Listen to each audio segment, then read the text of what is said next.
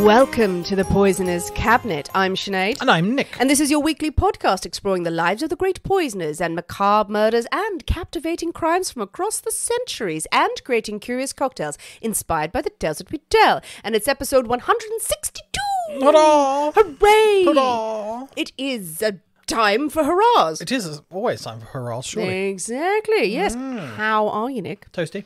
Toast, it is warm. It is toasty. It's still toasty. Yes. It's Yeah. just summer now, as you have rightly pointed out. Yes, but it's not going to stop me saying, "Oh God, it's so hot." uh, I mean, though, what is a bonus is that we've hit the solstice. We've hit the longest day, so yeah. it's now almost Christmas. it's downhill from now on. See, I started the day on the solstice sending a message going, Happy solstice, wonderful celebration of the light. We're going into the. And you just immediately like, It's all darkness from here on in. It all gets worse from now. so, Happy solstice, everybody. The Yay! night starts drawing in, gets darker. We'll all be dead soon. We've still got quite a lot of summer to go Fine. and many a harvest.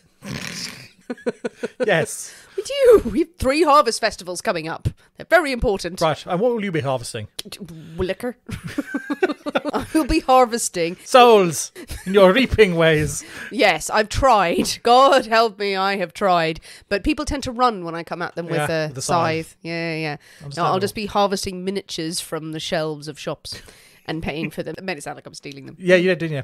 Just a sweeping your arm across shelves. Well, until it gets to October when I will be harvesting all the pumpkins. Pumpkins. We're not yes. there yet. Not that every day is pumpkin day. but you're well, we're hot. It's unfortunate now that we are filming excerpts of these episodes because we can't now hide the sweatiness. Before we were able to sort of dab ourselves down with towels and fan ourselves and Yes. just just be be sweaty, but now we have to look vaguely presentable. We don't normally do them nude or anything like that, do we? Well, I don't know. Normally, we could probably just have like a scruffy t-shirt, and I just like slick my hair back and everything. But Is then that not this, what you've done? oh, I thought that's the look we were going. you walked into that one.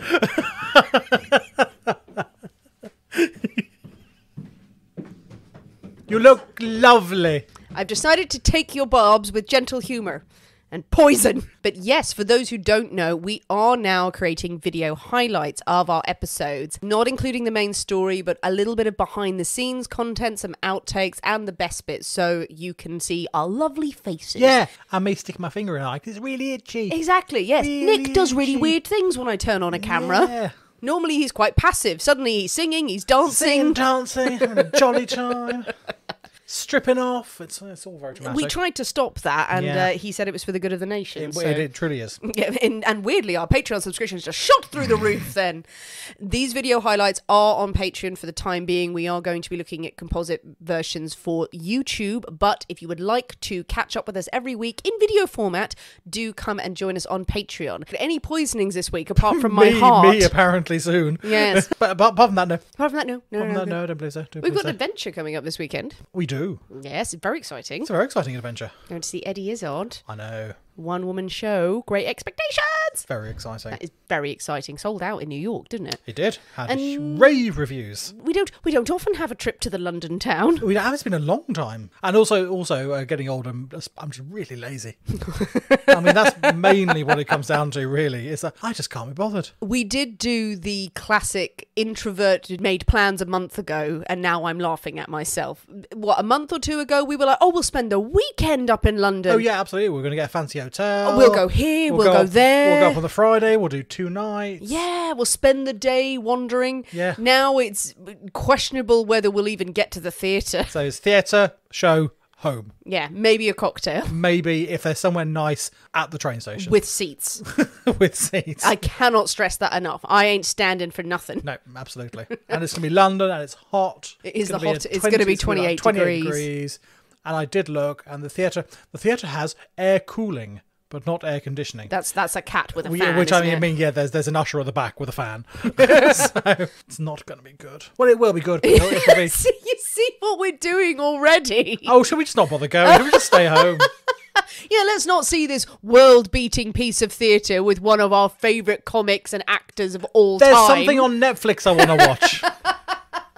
I can only watch it on Saturday. We could rewatch American Dad and get a bit of chicken. We could go to the Parrot and have a glass of wine. no, we're going out. Adventures. We're- and we're going to a bloody matinee, people. This is to what we're complaining about. It's at two thirty in the afternoon. Don't do evening shows anymore.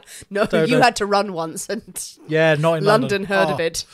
Absolutely, that was miserable. Is it really that bad? How far did you have to run? Oh, miles, Was it just the length of St Pancras? maybe. Right. Yes, I'm lazy and really unfit. It almost killed me. But you survived that. I think I was still out of breath by the time we got to Ashford. Still, still sitting there going. it was not a good look. Well, pray for us, Anyway, people, yes. and our and our dreadful, dreadful jaunt to the lovely London town. Terrible, terrible time going to see something lovely at the theatre. It's- Speaking of sweating uncontrollably, but uh, looking fabulous while you do it, Well, I think it is time for us to thank our delicious Patreon subscribers. We certainly should. So thank you very much this week to Ziki Lung, to Catherine Goodwin, uh, to Dr. Glowcat, to Tonio Cotilio Rigby. to York and Nibble, the crime fighting duo. Oh my god. To Jeannie Ritter. Hurrah! Thank, you very much, darlings. Marvellous names as always. People with your regular names as well. They're marvellous. They're marvellous. We love all the names. But also, I'm quite liking the crime fighting duo that we've now. Oh yeah. We need to know of your adventures. Absolutely. I, I think possibly the crimes of Dr. Glowcat, who was obviously some sort of supervillain.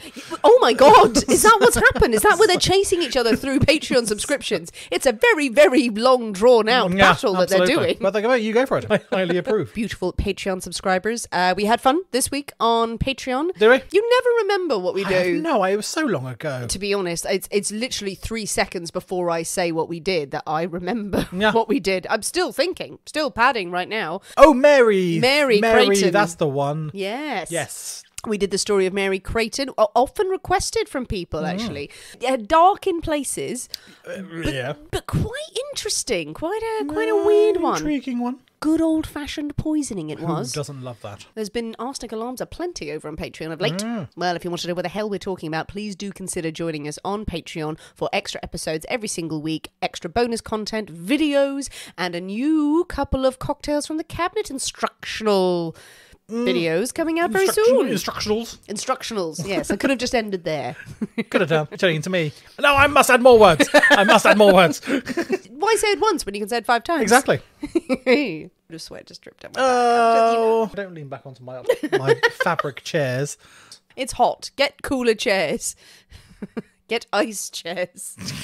Chisel them before I come round. Do I have to tell you everything? Get less sweaty bits. Oh, bits. Oh, come on. The back is not a bit. It is a It's- bit. It's, an It's a- intrinsic part. It's a bit. Of, well, as bits are.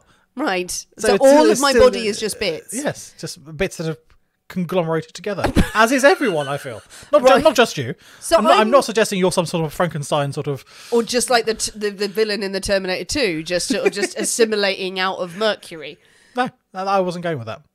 Good. Yeah. Good. I know where I stand. well, Nick, are you ready? Don't think you are, by the sounds of it. I'm just sweating away here. There's not much of me left. to drink cocktails and talk about poison, Yes. or could drink poison and talk about cocktails. Okay. I'm not sure which one's best. I don't know You're- either. You're, you're staring at me in a scary way. I want a cocktail. Cocktail time. Yeah, that sounds like a good idea. It is Nick's story again this I week. know, aren't you lucky? He has struggled. He has worked his little fingers to the bone. I have, I have no fingers left. and we can't, we can't, we can't possibly have his story without a cocktail in hand. As you know, dear listeners, every week we choose a secret ingredient that is inspired by the tale that we tell, and it will flavour our cocktail of the week. Nick's story, so his pick.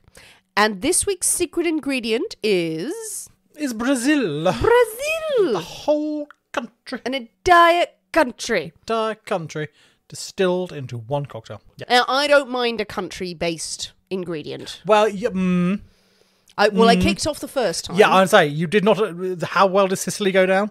we were young, We were young and inexperienced. inexperienced. I didn't know the we- ways of the world. if only we knew then what we know now. Pretty much, but it opens up so much. There we go. So much possibility. And Brazil, lovely, feels oh exciting. yes. It's a place of waxes. No, Waxes are nuts. it's actually technically a seed. Oh, That's the kind of cool talk that absolutely. would have me accepted in Brazil. I'm sure you'll be welcome in all the trendiest places. Exciting. Okay, with Brazil, then, Mm-hmm. is the inspiration, the ingredient. What have you come up with? Well, for our first trip to Brazil, which I think it is our first trip to Brazil. I think it is. We haven't. We don't really delve into South America No, that much. Maybe not. once or twice on Patreon. So we are having, Okay. as we should have, a caipirinha, Oh, oh, the, the Brazilian drink. the national drink of Brazil. Is it actually the It is, national it's drink? actually the national drink of Brazil. Oh, that's brilliant. Yep. Caipirinha. I can never pronounce it. Yeah. Oh, that's amazing. And I've never made it. No, neither and have it I. is it is a mystery to me. It's something I only ever I'm- have on holiday. I'm intrigued by this, so I'm quite looking forward to making it. Exciting. It's nice to have a classic Yes, everyone can get on board with. absolutely, and suitable for the heat. I feel Wonderful. We should mix this up. I'm going to take off my trousers and delightful. I think it is high time for us to skip into the poisonous cabinet kitchen and shake up a storm. So we'll see you in a minute. We'll see you in a bit.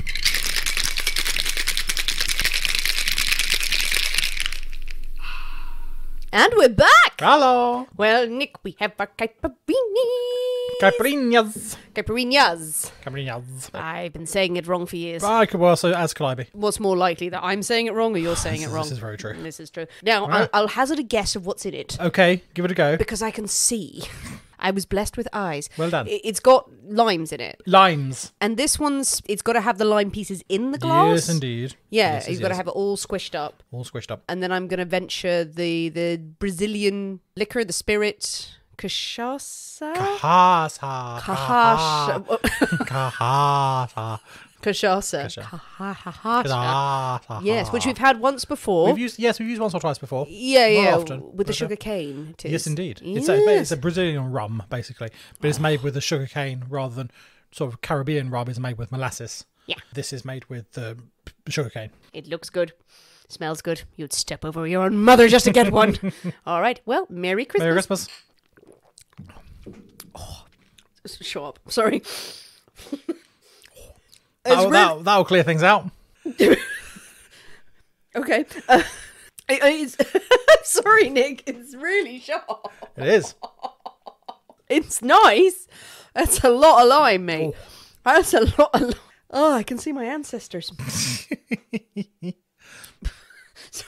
I was expecting to be lulled in with a sort of limey, boozy, like No, no, no, no, no, I've no. not really had many No, of, no, of these no. before. I mean, I think suppose the the sweetness is entirely down to personal preference, and because I looked at I looked at four or five different recipes for this, and I watched a couple of YouTube people making them, and all of them put different quantities of sugar. And we're not normally sweet toothy people. No, indeed.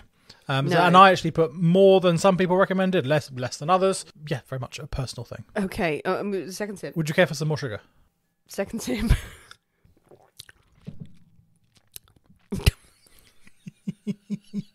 yes, Okay, I can cope. I can it's up to you. If you you prefer more, then have more. It's, it's really nice. It's lovely. It's just lime, and I love a sharp drink. The cachaça spirit isn't as strong as tequila, so No. I'm used to having limey drinks, but with a really powerful spirit cutting through it. However, I don't know what else is in this apart from sugar. Maybe. Is there anything else? No.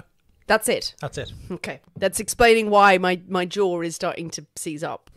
Lime, sugar, and cachaça. so, what are the quantities? So you have a lime A lime each. each. Okay. So yeah. So basically, you quarter a lime, take off the, you know, down the center of a lime, you've got like a little- little run of pith going down the center. yeah. So a you- vein. Yeah, like a vein going down the middle. Scrape that out. Uh-huh. So cut that out, and then your lime quarters go into the bottom of your glass. You then put your sugar on top of that. Uh huh. A lot of people say you need to use powdered sugar, as also not sugar syrup, but a actual proper real sugar. In the UK, we would call it an icing sugar, like a really fine powdered sugar. Yeah, like a com- I guess in America, it's confectioner's confectioner's sugar. sugar. I yeah. think they, yeah, it's called.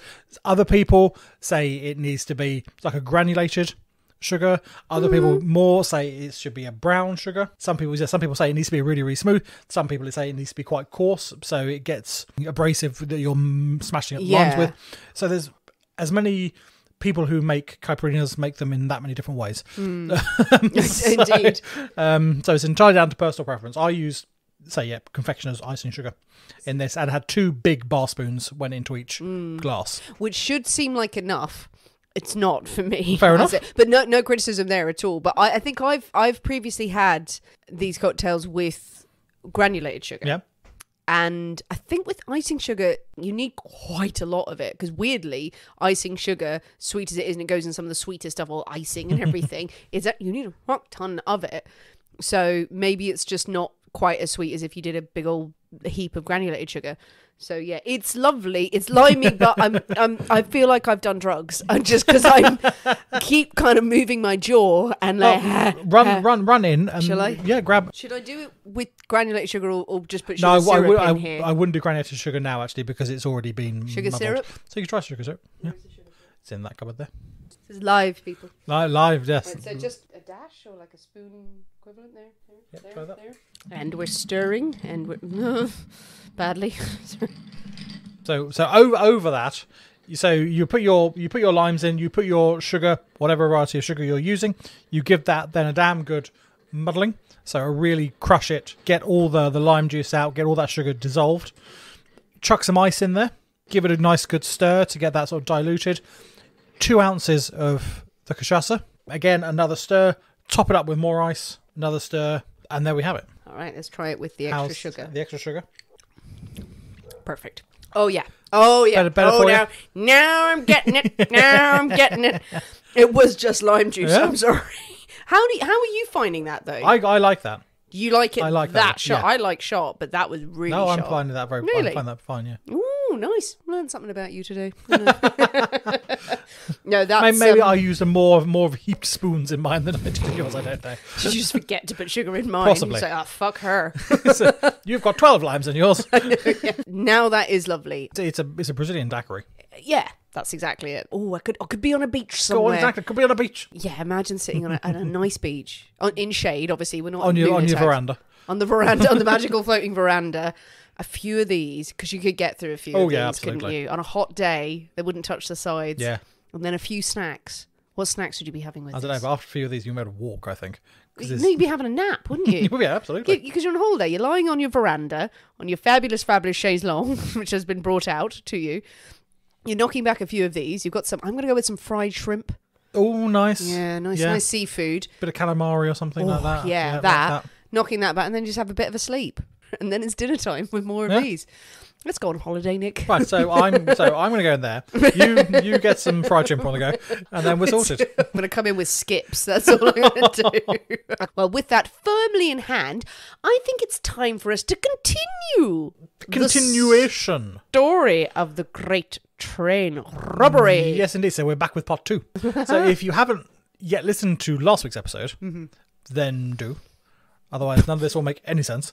So go back. Stop now. Stop. Listen to part one, then come back later. But I will give you a brief recap.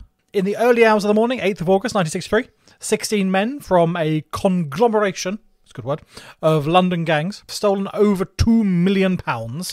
Two million 1963 money from a post office train travelling from Glasgow to London. They had tampered with the signals along the track to bring the train to a stop, then stormed the high value package carriage before making off with all the money on the back of a truck. They had then holed up at the nearby Leatherslade farm until they realised that the police were getting a bit too close for comfort and they escaped back to London. They knew that their rural hideout was in danger of uh, discovery, so they hired a fixer to torch the place to get rid of any evidence. But they were betrayed. Ah, yes. Betrayed. The arsonist did a bunk with his payment, with his fee, With his fire. with his fire. he took all the fire with him. and by the time the gang had organised for someone else to burn the place down, their worst nightmares had come true. The police were crawling all over it. And that's where we left it. We did. That was the briefest of recaps, the speediest of recaps. Exactly. You really dragged out episode one, I really didn't you? Got that done in about what three minutes. But yes, so they'd all been holed up in the farmhouse. They had been enjoying lovely games of Monopoly. Some lovely monopoly. which was our secret ingredient last week. Everything else had gone what a couple of hitches on the way with the with the train driver who didn't know how to drive a train. Mm, yeah, yeah, that was less good. That was less good. Yeah, Yeah, Ronnie Biggs, who had one job. All is well. Everyone's divided up the money. yeah. All you need to do is burn the place to the ground. So I'm I'm assuming they cl- but they cleaned the place, didn't they? Well, But- they yeah they sort of ru- did a Rudimentary. rudimentary cleaning of trying to get rid of fingerprints and all that sort of stuff. Yes, they, they yeah, attempted but that's do. not going to be. You're not going to get me rid of everything. No, and and with the but they, and they also had the expectation of well, in a day's time, this place is going to be ablaze. Fire will cleanse. s- fire will cleanse. So mm. perhaps we don't need to do too thorough a job because, yeah, it's going to be on fire, which didn't happen. So while the robbers had been hiding at the farm and then legging it back to London, the police had obviously sprung into action. Sprung. sprung into action. That's what the police do. they spring. As soon as that phone rings, they spring. They spring, they jump up. They leap. Yeah, Sorry, wrong number. Shit. I have to recalibrate this now. For... Absolutely. So, Chief Superintendent Malcolm Fewtrell from the Buckinghamshire Police Criminal Investigation Department, he arrived on the crime scene at about five o'clock that morning. Yeah, the robbery had taken place at about three-ish. So a couple of hours later, the alert had been sounded, and he was he was there. Mm. He supervised sort of the search of the surrounding areas where the truck had been, obviously where all the tampering of the signals had taken place, the cutting of the wires, did all that, and then he moved on to Cheddington Railway Station, where the actual locomotive had been taken to this sort of a siding, Right, yeah. get it out of the way, off the main line. And it was there that statements were being taken from Jack Mills, the driver of the train, Yes. and the postal workers who had been sort of tied up and uh, beaten up in the, the high goods carriage. Traumatizing for them. Absolutely. Yeah, indeed. horrible. And injured as well. Yeah, Bad- one one of them, one yeah, a couple of them really badly bashed over the head. So in these statements, they, it was revealed that the gang had told the men not to move for half an hour. I think we, we covered that in the last week. now did. that had suggested to the police that their hideout could be no more than thirty minutes away. So that would have been about 30 miles. So and also from more statements given that the police knew they were looking for about 15 men, all of whom had been wearing blue boiler suits and masks. All Nice. have had their faces covered. It's really all they've got to go on, Not a lot. which is not a lot at all, really. Now, it quickly becomes obvious to the chief superintendent that they need more help. They are woefully underprepared and understaffed to mount such a huge investigation and to search such a massive area. So they approach Scotland Yard. They call on the London, the London Bobbies to come and assist. Got there and just been instantly out of my depth. So after a bit of back and forth, back and forth about who was going to head up the investigation, who had sort of overall jurisdiction, and all oh, this sort of like politics. Who either of, wanted the glory or the blame. exactly. so there was a bit of back back and forth, but eventually the London side of the investigation is put in the hands of the head of the flying squad Oh, nice. at Scotland Yard. Now this is Detective Chief Superintendent Tommy Butler. Tommy Butler. Oh, that is a good detective It's name. a good detective name. Feels like he's like a salt of the earth. Absolutely. The flying squad. Okay, can I ask a question? Yeah. What is the definition of the flying squad? Okay. Right. so- Have you got this in I here? Have, I have got this. I have got. I've got exactly. I did anticipate the querying of the flying squad because it, yeah, it's something I had heard about, but I did not know what it was, where it really came from, or anything like yeah. that. Well, yes, you sort of nod along, going, "Oh, yes, the flying squad, of course, the flying nuns." So, so the flying squad was a specialist division of Scotland Yard that dealt with robberies. Oh. That is basically what they were. Oh. Okay. It had been founded in 1919. So many, many years earlier. Right. And then it was predominantly to gather intelligence on known thieves, robbers, and pickpockets. It was for them to track down these these people in London. Right. They used a horse-drawn carriage Yeah. with covert holes cut in the sides to draw up alongside people and spy and listen in to conversations that the robbers might be having and see these pickpocketings in action. And then they could leap out of their horse-drawn carriage, Completely camouflaged. completely camouflaged, um, and make various arrests. And they were hugely successful. Were they? Apparently so. So, so pickpockets are operating this rumbling big horse It was just like a normal horse-drawn carriage, of which there were many in the in the 1919s and covered in 1920s. holes. Um, covered and in had a little, holes. Little hole in there, a little eyeball peeking out. Can I commend you on your Elizabethan-esque gesturing of this? And there was an oh, and, Oh. and I shall hear, oh my, pressed against it. I'm an actor, don't you know? I know there's a lot of horse and cars. There's probably not ones covered in holes with eyes that I'm, you I'm look thinking at. not like sort of a cheese, sort of covered covered in holes. so, There's not even walls. It's just them standing there with a tiny bit of wood. In it's front actually entirely made of glass, and I can see everything. Just a group of men with newspapers with holes down them. yes. No, they were very covert, very discreet, and very successful because it was it was founded as a, a very experimental sort of division. But their results were so yeah so impressive and so good that it still exists to this to this day. This this division um, Still with a horse and cart. still with a horse and cart, absolutely Beware. going around the thieves. South Circular, sort of. But where the, where the flying squad bit comes in. Yes. So- the, the horses. It was drawn by Pegasus. So, in the 1920s, after the experimental bit had gone, this is going quite well. We need to establish this as a legitimate, permanent sort of division. Okay. Um, they were given a bunch of um, motorcycles and cars that had previously belonged to the Royal Flying Corps, Oh, um, okay. which is the predecessor to the RAF. so they just got better vehicles. So yeah, so they they got these they got this batch of vehicles that the Flying Corps didn't need anymore. Right. Were, were given to the to Scotland Yard to make use of, and they were all given to Pickpocket Squad because these vehicles came from the Flying Corps. They became known as the Flying Squad. That's rubbish. So yeah, Sorry. that's where that's where the name comes from. That's very, very interesting. Yeah. Th- that's a really random way of getting the flying squad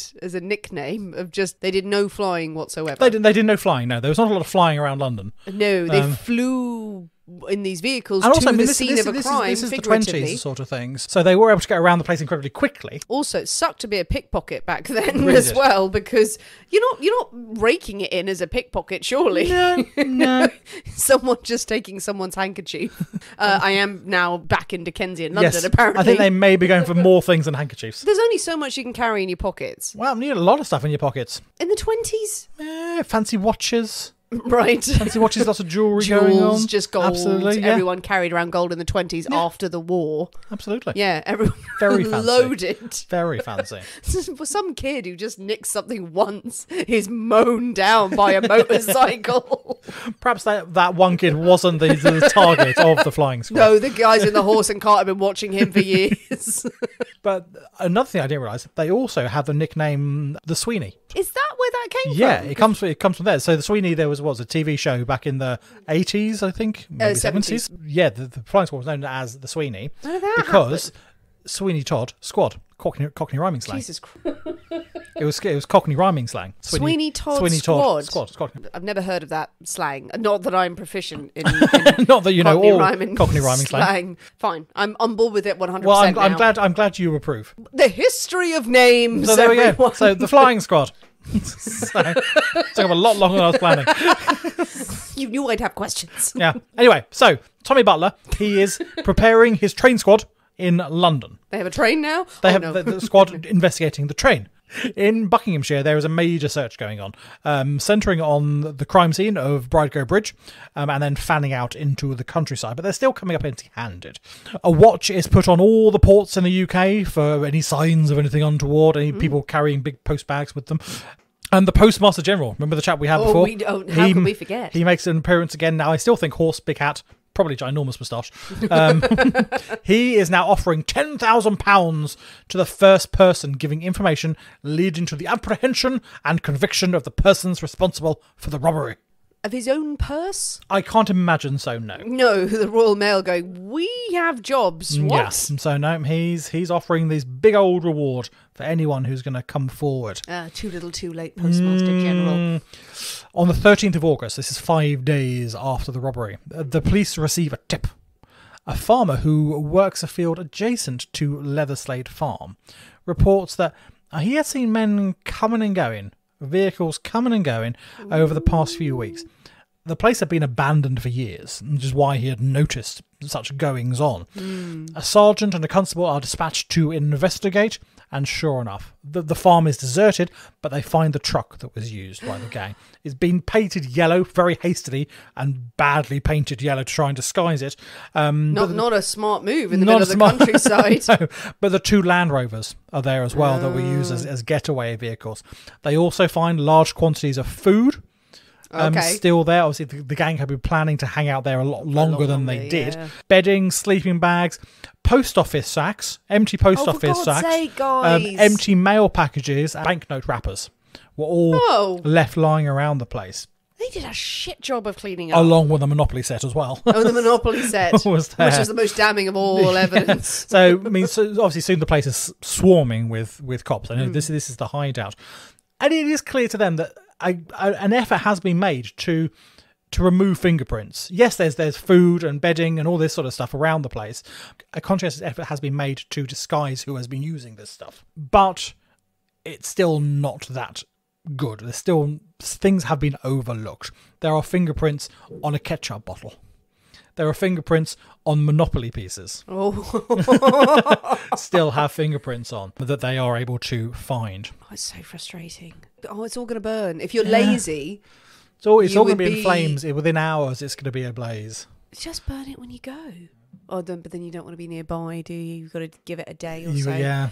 I mean, despite the discovery of the farm, the investigation is still not going particularly well. They still have no idea who or where any of these men are. This is the 60s, so there there is no just chucking fingerprints into a computer and it's spitting out a, a match of a from a global database or anything like that. They've got the fingerprints, but they need something to compare them to. They need people to compare the fingerprints to. So they still, oh shit, we're, we're still a bit stuck. So the the real breakthrough comes when Detective Chief Superintendent Millen, now he's a senior bod at Scotland Yard, he meets an unnamed distinguished barrister. He's described as a Right. distinguished barrister. Oh, the lawyer.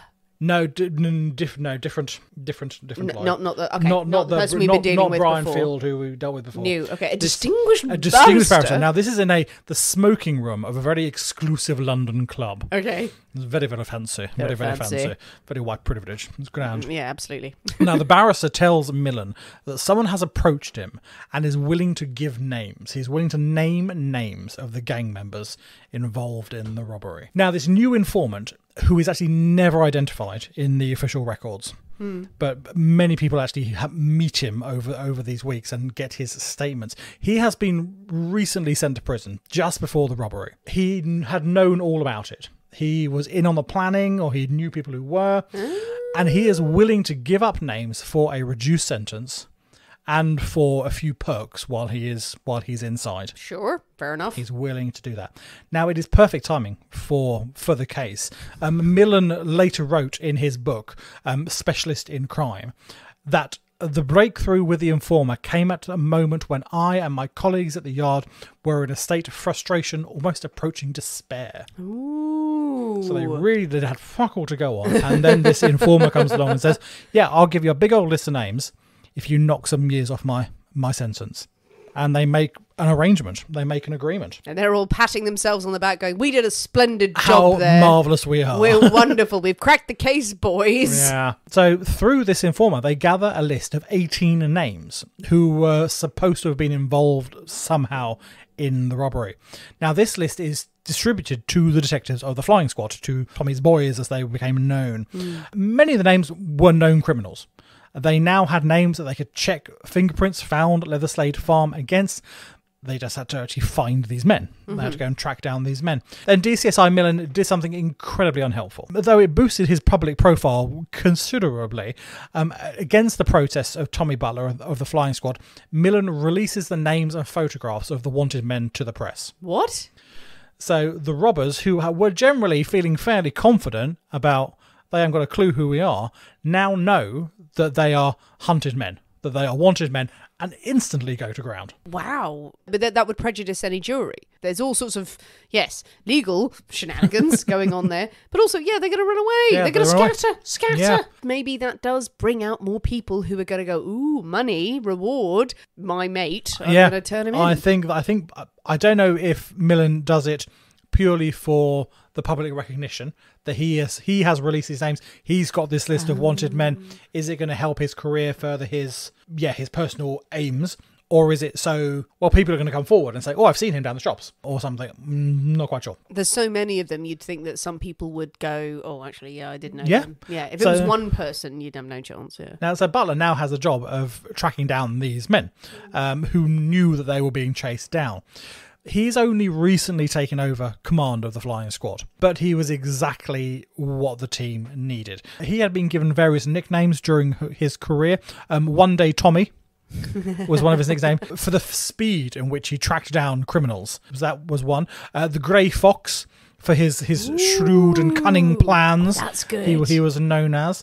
He was he was one of Scotland Yard's best. He was fanatically devoted to to his job, to solving crimes. He never married. He lived at home with his mother. He worked all the hours God sent, and he expected all the members of the team to do exactly the same. He's There was- married to the job. he was married to John. There was no time for going home. Wives, families, fuck that.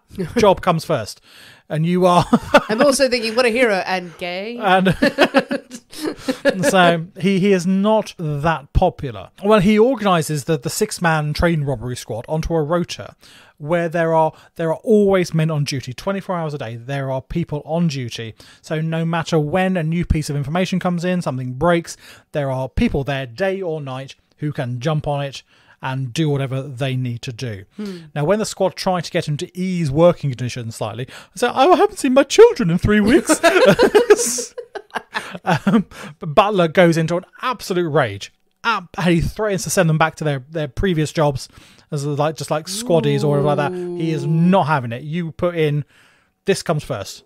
This comes first. So what he- need you of children you want and need family? of children and family and love and happiness and friendship and all this sort of stuff. No, you're Captain I've had to give up love for my job, Mm. and so shall you. Oh, that is a bitter man. That is that is a man who is not allowed to do what he likes. Well, he also has a reputation for being incredibly secretive as well. He does not trust those under his command. Often squad members were dispatched on tasks having no idea how what they were doing fit into the the, the investigation as a, as a whole. It's only later when they came back with an answer or something it became obvious why they had to do it.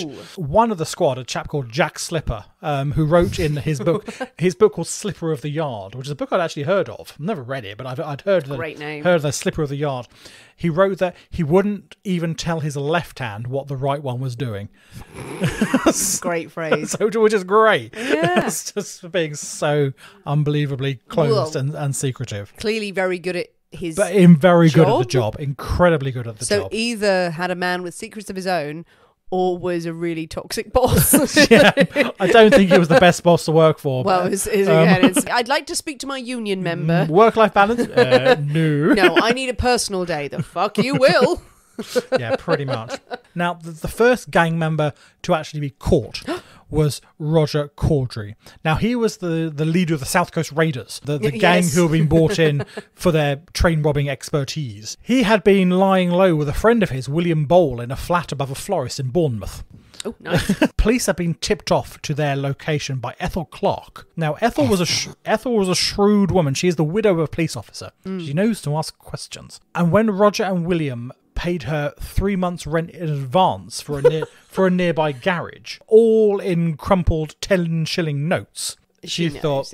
"Ah, something's dodgy here. Something, Well, something's wrong." yeah. and she reports it to her husband's old colleagues. The police take Roger and William in for questioning, and Roger's link to the robbery is quickly established. He's one of Mm. the names on the list from the informer. William Boal, who was just helping his mate out, nothing whatsoever to do with the robbery, is also arrested.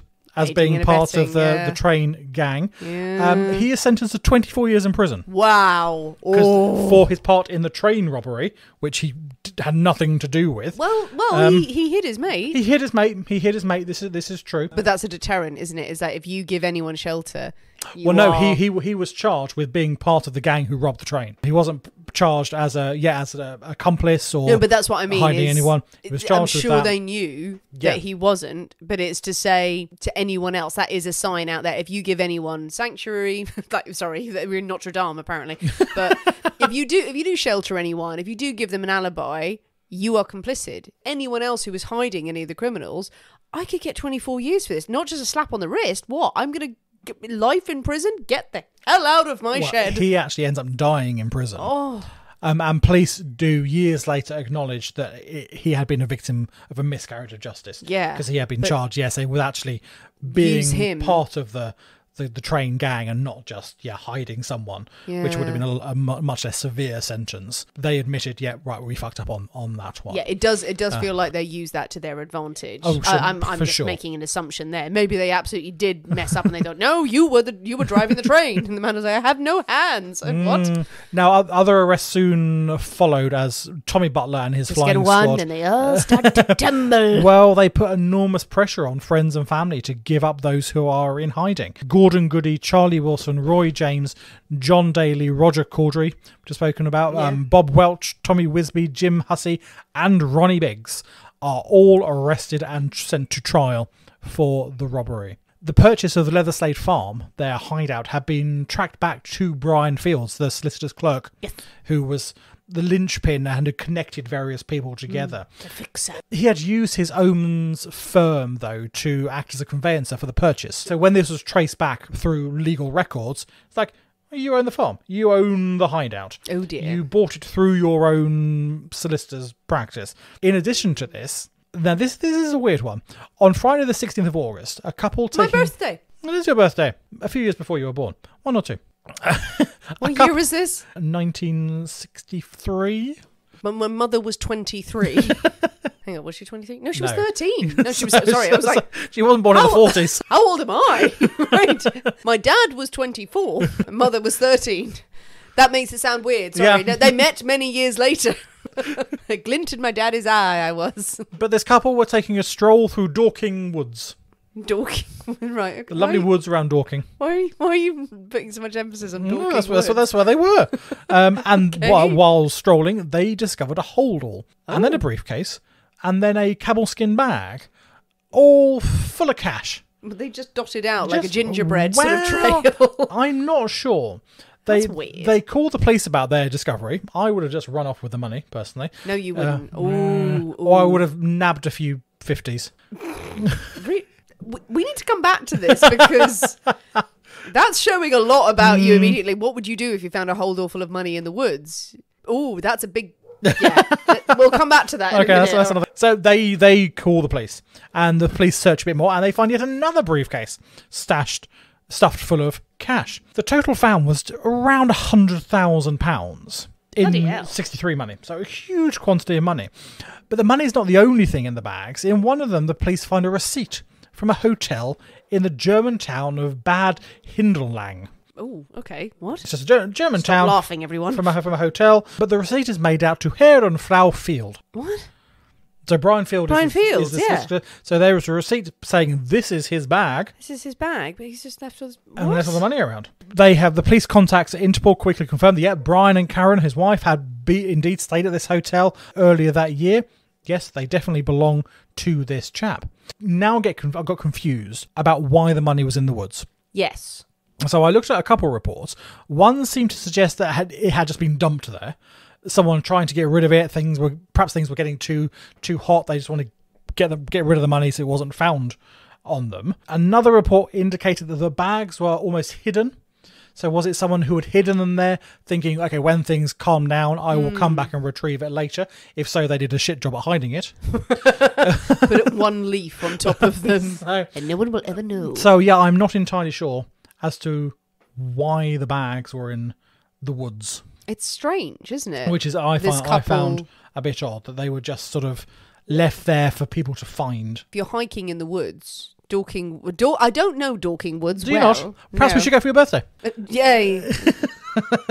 but if it's a large woodland area and if it's not on a path, if you do go hiking through the woods, you go off the path and Yeah. you're sort of trekking around, you find weird. Uh, look, I found weird shit in the woods. I found weird stuff. So perhaps perhaps they were. So maybe it was there, sort of like no one's going to wander by. no one's going to one by there. But just so happened someone did. Very or possibly. That couple was doing some weird stuff and they didn't want the police to know about it. And then they went, and while we were rolling around in our furry outfits, um, we found all this money. Oh, Yeah. no. so yes, I don't, I don't know. That's interesting. But Brian Field was arrested Ah. on the 15th of September and sent to trial with his co-conspirators. Ah. I think it's time for a wee drink. I think it is. I need more mm, caipirinhas. More caipirinhas for you. Woohoo. Okay, Nick, we have our drinks. You do. Now I've mastered the mix of it. Master the mix. this one, bang on. Let me show you one. yeah, yeah, go for it, go for it. It might be a bit too sweet for you, I'm not sure. It's very nice. I would say yes, a wee bit, wee bit sweet, but it- very nice. I can taste more of the spirit in Yeah? there with the lime without it being too much. you know. On with the stories. On with the story and then the moral dilemma, which I'm going to come back to later. Okay. Yeah. So the trial. Trial. The trial began at Aylesbury on the 20th of January in 1964. Now, the normal courtroom they had there is deemed too small for the volume of defendants and lawyers and journalists present, so the district council offices are converted to hold the event Okay. because the courtroom is just too tiny. the trial lasts 51 days, Wow. includes 613 exhibits, bits of evidence, and 240 different witness statements. I think that's quite short. So, actually. yeah, there's 11 defendants. 51 days for 11 Fif- defendants. 51 days. The jury re- then retired to determine their verdict. Guilty. Guilty. So, very, very guilty. Saying that, one of them, John Daly, is actually acquitted without any charge Oh, nice. On there because his lawyer has managed to managed to get him off on a really weird excuse that his his fingerprints were only found on the Monopoly set, and he managed to convince people that he had actually played the Monopoly with his brother-in-law Bruce Reynolds, the mastermind behind it, Yes. months months earlier at Bruce's house. Okay. So he has nothing to do with it, but he's my brother-in-law. I was around there. We had a game of Monopoly. That's why my fingerprints are on the Monopoly set. you can't prove anything else. Ah. So he he was he was acquitted. Bollocks, he was there, but he was he was he he, he managed to get away with it. just strolling out of that council Yeah. office.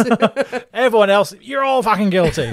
it doesn't have the same gravitas if they were doing it in the council offices. You know, you can walk out of court because court's usually like big, grand, sort Yeah. of hallowed places. You're just walking out, bumping into someone's desk while they're still filing receipt. Mr. Justice Davies, the judge, um, describes the robbery as a crime of sordid violence inspired by vast greed. Ooh, nice, nice, nice. And then he issues his sentence. okay. Seven of the defendants are given 30 years in prison for their part in the robbery. Um, Brian Field, the, the solicitor's clerk, is given 25 years because he wasn't there at the robbery. He was just involved in the planning and the plotting and the scheming and all that sort of stuff. All of the stuff that made it work. Yeah. um, say William Boal, the, the chap who hid his friend, given 24 years. Not ideal. After appeal, some of the sentences are reduced, but even then, they are still seen at the time as incredibly harsh, Well, incredibly severe for for the the crime. No one was killed. Yes, there was violence. People were beaten around the head. They were knocked unconscious, which is a, a, a terrible, terrible a- thing terrible, yes. but it, the, the, the, the sentences were seen at the time as very, very harsh. The other gang members who were arrested in later years and tried by different judges were given much more lenient sentences. It does seem like a lot of it is deterrent, deterrent, deterrent. Mm. Yes, don't you dare try and take our the, the, the country's And money. also because it was a crime that really there had never been anything like it. No, Uh, to that that extent, that level, that m- amount of money had had never been nicked before. so they were just sort of So they would be like, "Oh, this has never happened before." Let- yeah, know. we need to make an example of these people who have done this this crazy, massive thing. Yeah. uh, we need to make it sound big. Don't do the crime if you can't do Well, the time. True enough. Which is ironic. Because did they? But, but, but say, what are those who had not yet been brought to justice? There were, say, there were 11 there, one of whom been- has been acquitted, 10 incarcerated. There are still a number of people that are still at large Oh, yeah. who. Two of the main men behind the plan, Bruce Reynolds and Buster Edwards, mm. they're still free. They're still out there somewhere. Oh, Jimmy yeah. White, one of the Southwest gang members, What, the snooker player? different one, I feel. Oh, okay. He had also completely vanished. To become a snooker player. to become a snooker player. he had retrained entirely. Now, Bruce Reynolds say he had been the really the mastermind. He had planned Yes. the whole thing. He managed to evade the authorities for long enough to arrange his escape from the country. He hid for six months in a house in South Kensington, waiting for a false passport. Then in June 1964, he assumed the name of Keith Clement Miller um, ma- and made his way to Belgium. From Belgium, he flew to Toronto, from Toronto on to Mexico City. His wife and son joined him a few months later. Mm. That Christmas, Buster Edwards and his family managed to get out of the UK and they joined them in Acapulco. Yes. Uh, margaritas around the pool—a delightful way to spend your retirement in good old Mexico. and this is now flashing back still. I re- referenced it in episode one, the film Buster with Phil Collins in Yeah. it. But it shows how the, the lads were all fine with Mexico, but the wives, oh, how they missed Blighty. They Mm. didn't like, and there was a whole bit about they didn't like Margarita because they had salt round the rim. And it's like, well, I'm going back to my room to have some fish and chips. And it's like, fuck off. Anyone who was over there would be like, it's Mexico. There's sea, there's booze. You Well, liars. no, I don't know. Because, I mean, Buster Edward, firstly, he starts to run out of money. His family grow very homesick. His wife really wants to go home, really wants to return. So that actually happened. Yeah, that because the absolutely way it was done in the film was not not well. yeah, Sorry. no, she, they absolutely. She, she wants to return to to the UK, not realizing that if they do, then her husband is fucked. You're in Mexico. You know what you want? Drizzle. Because they couldn't live without. In 1966, he actually contacts the UK Yeah. authorities and he negotiates his return to the UK. He is arrested on his arrival. He did. and he is sentenced to 15 years in prison. Say a much more lenient sentence than those who hadn't fled the country. Giving himself up. And know, give, like yeah, but he gave himself up. He Yeah, yeah. Negotiated 15 years. He spends nine years in prison before he's released in 1975. Quite famously, goes on to run a flower stall outside Waterloo Station. Oh, he does. He does. he does. And he becomes quite the, the tourist attraction, really. And then, as you say, Phil Collin plays him in a film. he has reached peak peak criminal. I'm only going on about this because my mom was for some reason obsessed with that film and kept saying, "I'll take you to meet Buster." I'm, I've never I've never seen it. I must admit. I've seen it way too many times. I know the fact that in the film, when he comes back to England, he has one more night with his wife and then he gets arrested. That's in my memory. Poor you. yes, there's other things I could do with knowing. Fair enough. It's just- Back in the UK, the men who had been caught, they are now stewing in prison. And some of them are determined to do something about it. Not really too happy about being in prison. On the 12th of August, 1964, Almost my birthday again. almost your birthday again, Charlie Wilson escapes Winson Green prison in Birmingham. He, he gets out in under three minutes, which is a speedy escape. Three men break into the prison to get him out. Now, no one has seen anything like this before. Um, prisons are designed to stop people getting out. Not, no one's really considered that people can try and break in. so, How do they do it? I, honest, I don't know the details. Okay, good, I because didn't- now I didn't- can- now I can yeah, make I, shit I, up. I didn't look up the, the exact details. Just be Um, running, screaming into the building. Well, one would assume with that they- cars and just axe. But they they got into the building. They managed to get Charlie Wilson and get him out in under three minutes. Wardens and security were going, "What the fuck? You're going the wrong way. You, you've come in. You're meant to no. I don't know." It's okay because the doors don't open outwards. Oh shit, they open inwards. Very very complicated. The the the escape team, the three men who formed this escape team, Team. um, who was who was led by a, a man who was nicknamed Frenchie. nice. No idea if he was French or not, but they were never caught. They were never apprehended. Um, never knew who they were. Um, Frenchie, he disappeared from the, the London criminal networks in sort of late sixties. He was never heard of again. Um, Just now picturing him as a mime. Perhaps, perhaps that's how he got. A, he, he was a distraction for the guards. just walked past him like, oh, how entertaining, how lovely. Who is mine day at Windsor Prison? Beating a guard to the ground with a garland of onions. It's exactly how it happened. Dazzled them with his baguettes. and never seen of again. There we are. Charlie Wilson makes his way to Mexico. And he is soon knocking back tequila with his old friends Bruce Reynolds and Buster Edwards. So they're having a grand old reunion in Mexico City. nice. Now Wilson, he actually eventually he goes to Canada. He settles just outside Montreal, Oh, lovely. just Ooh, there, Good choice. Good under the name of Ronald Alloway. He settles there. He is a most respectable member of the community. He joins the golf club and all things. Um, those around him are obviously completely unaware of his criminal background. He's just dear old lovely Ronald. It is only when he invites his brother-in-law over to the UK for Christmas that Scotland Yard go. so obviously they have still got his family Oh, members and what have yeah. you under surveillance. They so they see that this random chap in Canada has invited this brother-in-law to come over and stay, Yeah. and they go, "Ooh, this this is our man." So there's uh, legal uh, arrangements uh, to, to get to be ex- extradited from Canada. Now they actually they they wait three months before making their move. They have him under surveillance. Um, Tommy Tommy actually goes out there and he's got them under surveillance in the hope that Wilson is going to lead them to Bruce Reynolds. So Bruce, he's Nice. he is still out there somewhere. They don't know where he is. Buster Edwards is, is now in prison. Yeah. They've got Charlie Wilson under surveillance. Bruce Reynolds, he is the last one that they know about who's on the list. So I think, okay, is Charlie going to lead us to this the criminal mastermind here? No, he doesn't. So eventually they go, fine. He is arrested on the 25th of January 1968 by Tommy Butler.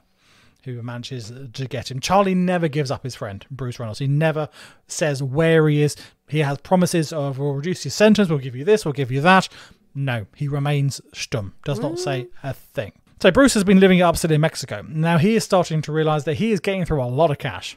He is living, but he's living quite a fancy life. He's living a bit of a high, the Isn't high that life. always the way? Well, but th- things are running out. After Buster Edwards has left Mexico, returned to the UK, Bruce decides that, well, perhaps it's time for a change for him as well. And in December of 66, he moves to Montreal. He moves up to where Charlie Wilson is in Canada. but then realizes the potential danger of having them two of them so close to each other. Yeah. So he then moves across to Vancouver. He starts off life there, but not really liking that. Ends up in France, moves to Nice in France. Eventually, his need for money becomes so acute that he and his wife they're forced to return to the UK. He's thinking, I can get work there. I can perhaps get some of my old contacts. So they end up settling in Torquay um, under the name of Keith Hiller down Oh. in Devon Okay. but on a visit to London to try and reconnect with some of his gangland chums, Reynolds is recognised by officers of the Metropolitan Police. He is arrested Foolish. in Torquay on the 9th of November 68. He is offered a deal by prosecutors, plead guilty, and we won't pursue your wife and son on criminal charges. Your wife and son who fled the country to go Yeah. to Mexico, who are complicit, who have made use of the money that you gain through criminal activities. We won't go after them for criminal charges if you plead guilty.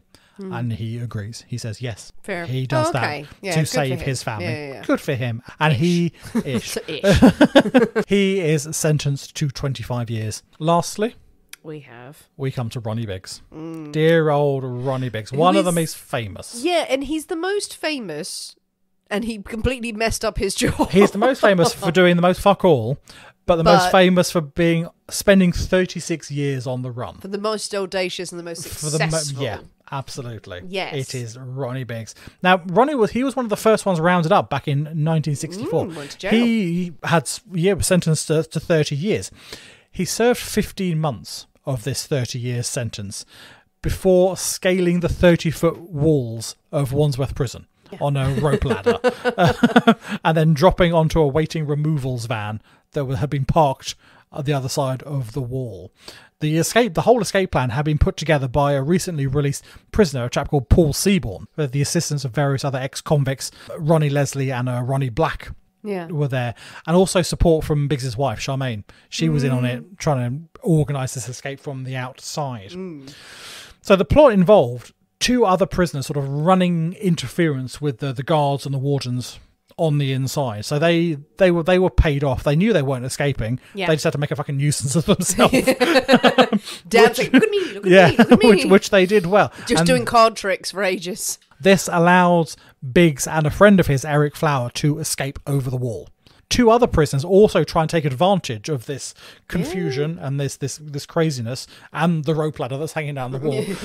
they their venture is not quite as successful. They are they are recaptured within a couple of months. But Biggs he has got a long there's a there's a plan in place to get Biggs sorted and out of the country. I think It's- that's probably why he's got one of the most famous reputations of the audacity of his escape. Absolutely. Of all the stuff you see on TV and film, it's like Ronnie Biggs is one of the models for it because you're like, oh shit, he did it. Yeah. He did it, and it was so incredibly well thought out and well funded as well. well planned, It yeah. cost him a huge amount of money, and there, but there was provision of this to, for him to be smuggled out of the country, and Mm. he ended up in Paris.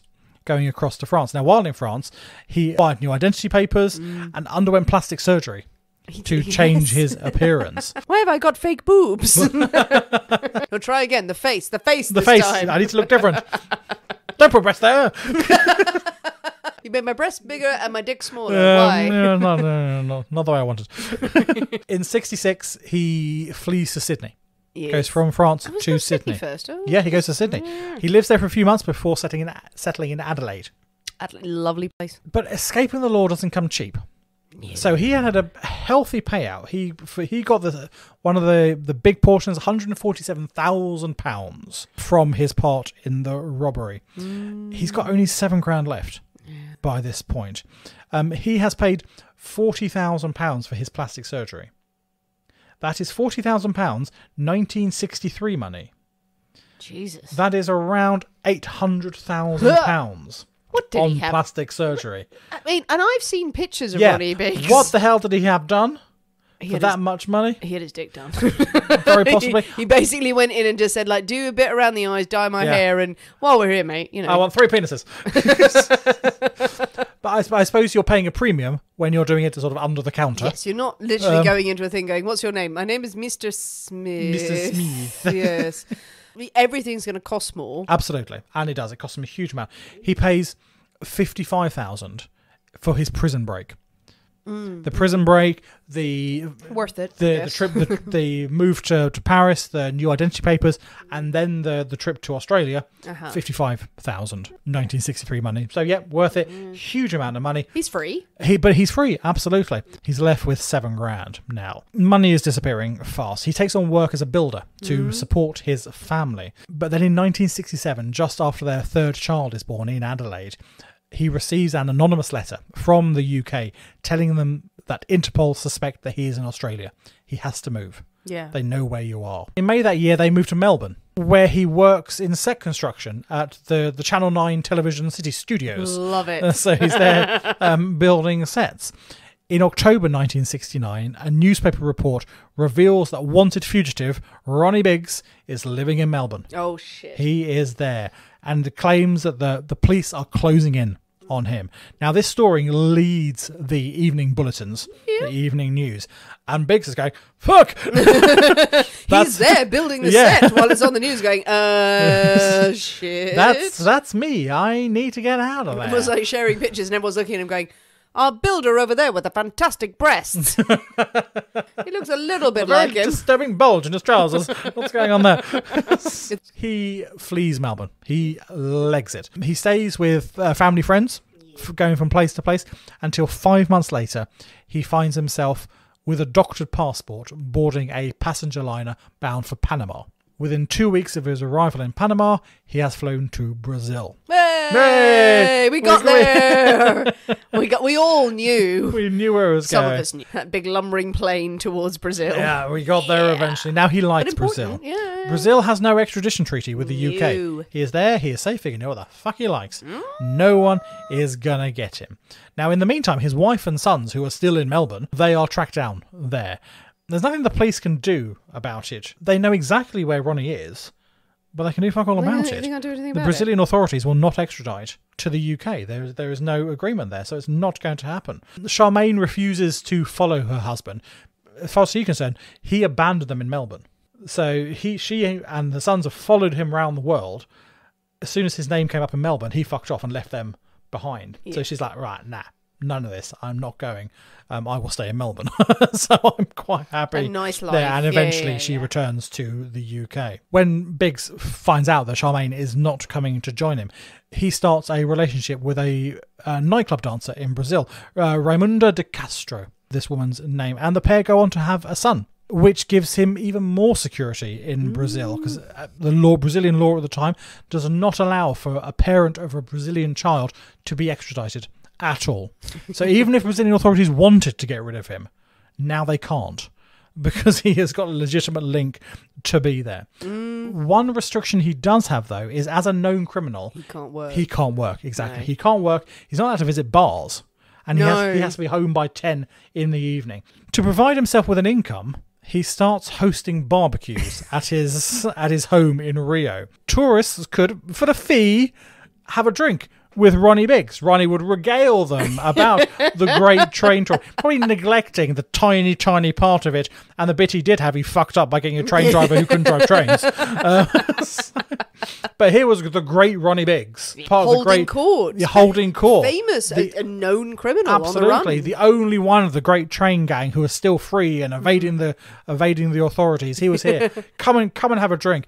You can also pick up Ronnie Biggs mugs. T-shirts for all your mates back home. Bit of merch. That's what you need. In March 1981, Biggs he's kidnapped by a gang of Brit- ex-British shol- soldiers. the boat that they smuggle him out of Brazil on then has mechanical problems and, and breaks down off the coast of Bar- Barbados and has to be rescued by the Barbados Coast Guard. They're dragged back to land and then they realise, well, Barbados has, has no extradition treaty with the UK either. So, so the soldiers are there trying to get a reward for that, for, for capturing wanted fugitive Ronnie Biggs. Ronnie Biggs just like living it up. And then the, bar, the like, sort of the Barbadian uh, authorities are sending him back to Brazil. Yeah, like, going, "Oh, care." go back to Brazil. Soldiers, fuck off. What the hell are you playing at? See these soldiers as well. I remember reading about that. Um, they're not. Uh, Were they just regular soldiers? They weren't. I mean, they they clearly weren't. It says they're, they're, they're ex they're ex soldiers. They're ex-soldiers. gang, gang for hire type. Yeah, not SAS or. SBS because otherwise he would be in England if that Yeah. happened. That just seems like a bunch of squaddies Yeah, it's, it's, a- got it's a, a bunch drunk, of squaddies. Yeah, got a shit thinking boat. we can do this. Yeah. These, these these are not the elite of the the, the British Army or uh, sort of Who'd yeah, done in- any research Yeah. whatsoever. or sort of any sort of official capacity had they had they done any of this. Eventually, in May 2001, age Yes. 71, mm. after having suffered three strokes in Brazil, Ronnie Biggs voluntarily decides to return to England. He knows that he could be and probably will be arrested the moment he steps back on English soil. But he says that before he dies, he wants to walk into a Margate pub as an Englishman and buy a pint of bitter.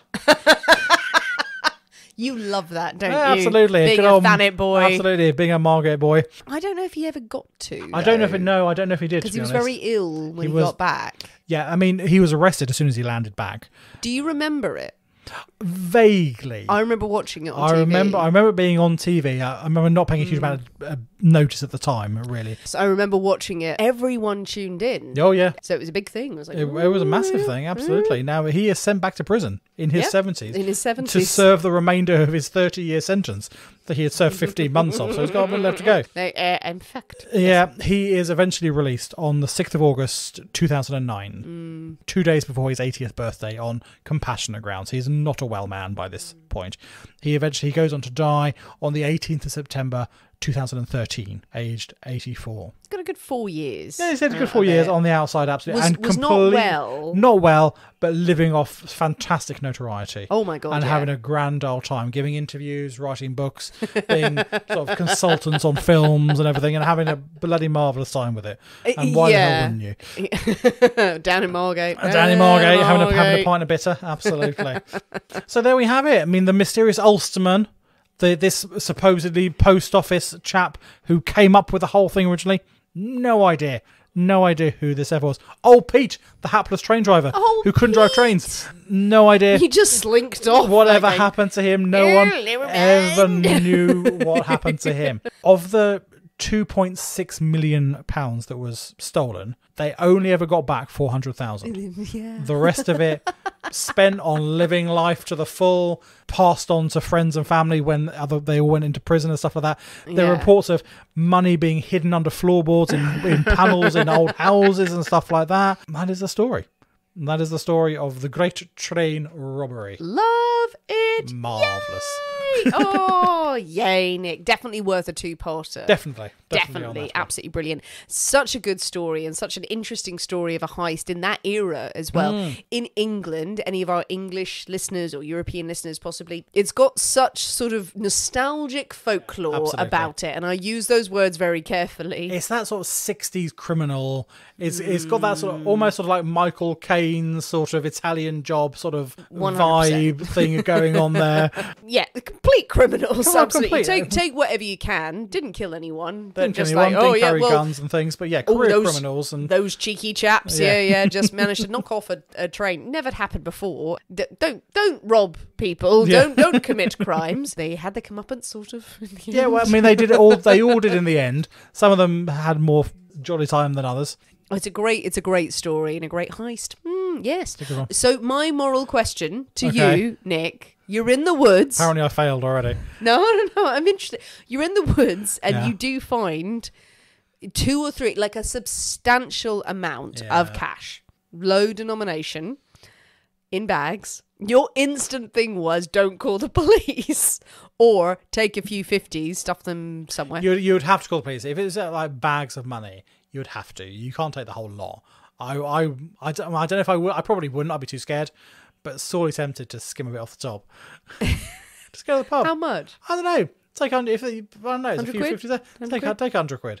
Go and buy something Yeah. nice. Because that's the thing with the police check if they turned up. So Or I is don't it know. anonymous tip off or something? Or no, get- you, well, but you, I then don't know. Then that that seems more dodgy. That um, instantly, I'd have the paranoia. Oh, massively. It's not about the police. I think I'd be I was being watched. So If if there is a big bag of money there, someone wants that money. Someone's keeping an eye on it. Maybe in the trees. Maybe there's a fox that has done well for itself. yeah, yeah, maybe so. Um, no, I'd be walking away from that, going absolutely not. Would you call the police? Yes, Right. out of the woods. As once you got out. far out of the woods. Just take it. out. I didn't see that. Clock the location. Get out. Call the police. No, if it's too good to be true, it's too good to be true. I love you were immediately yeah. fucking just rifling Ah, through I, it. I probably yeah.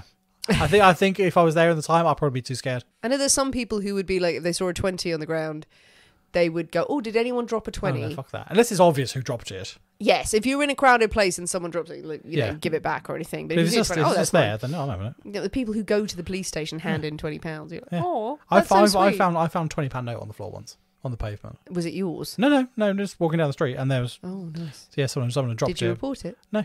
Thief. Yeah, there was no one in sight, so I thought I remember that.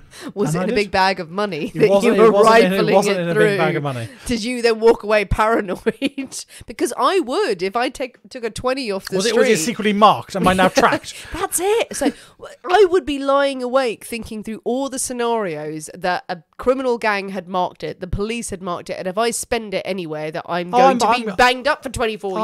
I'm going to buy sweets. Um, no, we'll take it to one of those American candy shops that Exactly. are clearly a front. Use it to buy something nefarious Yes. and everything's fine. I'll take it there and buy like three M and M's. Well, what do you think, people? A, answer our moral dilemma. Yeah, what would, what you, would do you do? if you did find, like the people in the story did, find a huge bag, several bags Several of money bags of cash. in the woods, and you're with someone? Let's say you're with someone, there's no one else around. There clearly weren't. What's your thinking Mm. on the matter? Intriguing. What do you also think of the great train robbery? About the escape plans of all the criminals involved? Did you know the stories? Do you know more of it? Do you know anyone who was involved? Because apparently everyone does. Should more criminals have their own merch lines? Would you buy I don't from it? well, actually, dark tourism. Oh yeah, Think about that. How many people pay for that? absolutely. But I think Ronnie Biggs is weirder. You are just going to someone's barbecue and Yeah. you're like, oh, okay, I brought uh, some sausages. And they're like, so I robbed a train. You're like, oh, this is uncomfortable. now buy a t shirt with my face on it. It's like, no, that was an awful birthday. Sorry. but tell us what you think and what you would do in those scenarios. Jump on the comments of this Mm. Episode wherever you listen to it. Tell us your thoughts, your theories. But most importantly, Oh yes, you have to mix up. a caipirinha. Yes, oh yes. Temper the sugar. Do to your own personal taste. To your own taste. absolutely whatever you like. But get a bottle of cachaça, get it in, chuck it in the fridge, leave Yeah. it there, smash up some limes, have a jolly old time. It's easy. You've got friends round. You're Yeah. on your veranda. Exactly. You're on the beach. You're standing in your living room. Doesn't matter. You have two or three of them. You're on the floor anyway. So Hopefully with your friends. with your friends. having a nice, just playing PlayStation or something. Or having sex. I don't know. Um, Whatever you like doing with your friends, you crack on. As long as everyone's consenting, exactly. it's fine. grand time. Whether you like it limey and strong and see through time like Nick or me, you like it a little sweet. Mix one up and tell us what you are drinking this weekend or in your lives whenever you're listening to this episode. Please leave us a review on Apple iTunes if you haven't already and come and find us on TikTok and send us more suggestions of videos we could be doing on there. Thanks for listening, guys. We have been the people inside the Poisoners' Cabinet. We will see you next week. And remember, your loved ones are trying to kill you. Oh,